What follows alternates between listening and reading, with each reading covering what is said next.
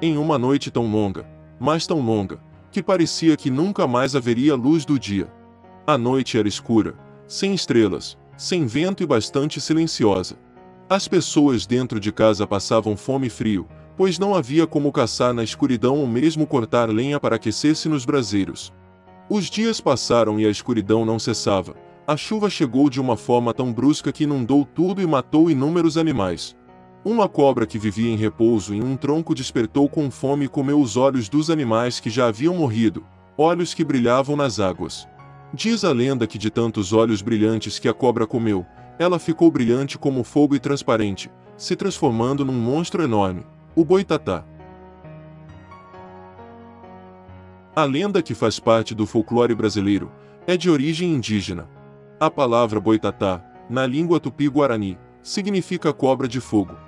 O boitatá é uma gigantesca cobra de fogo que protege as florestas e os animais contra aqueles que a incendeiam. A história conta que a cobra pode se transformar em um tronco em chamas para enganar e queimar os invasores e destruidores das florestas.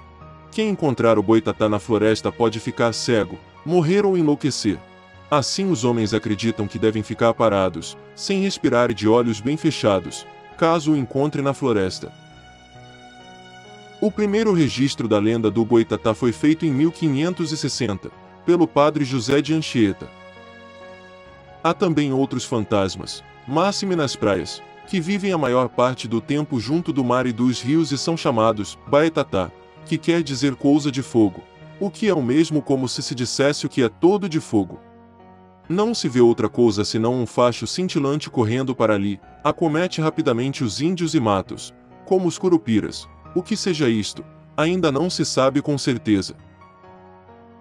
A lenda do Boitatá, sofreu muitas modificações ao longo do tempo, e, portanto, reúne diversas versões.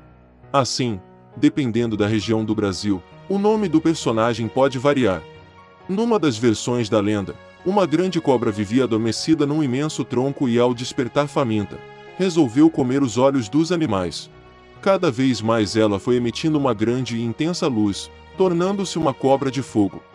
Ao proteger a floresta, ela assusta as pessoas que vão às matas durante a noite. No norte e nordeste do Brasil, a imensa cobra de fogo vive nos rios e sai no momento em que há invasores nas florestas para os queimar. Há versões que contam que o Boitatá foi o único sobrevivente de um dilúvio que exterminou todo o planeta. Para sobreviver, ele entrou em uma caverna, onde ficou no escuro. Por isso seus olhos cresceram e ele só pode aparecer durante a noite, pois de dia não consegue enxergar. Há uma outra versão que diz que o Boitatá é na verdade várias almas penadas que fizeram maldades na terra e por onde passa, queima todas as coisas. Por conta disso no Nordeste o Boitatá é conhecido como alma dos compadres e das comadres. Apesar de se tratar de uma lenda, a história do Boitatá pode ter uma explicação científica. Isso porque em locais onde há grandes concentrações de árvores, é comum que aconteça a queima de gases através de material orgânico, gerando fogo fato, ou incêndios espontâneos.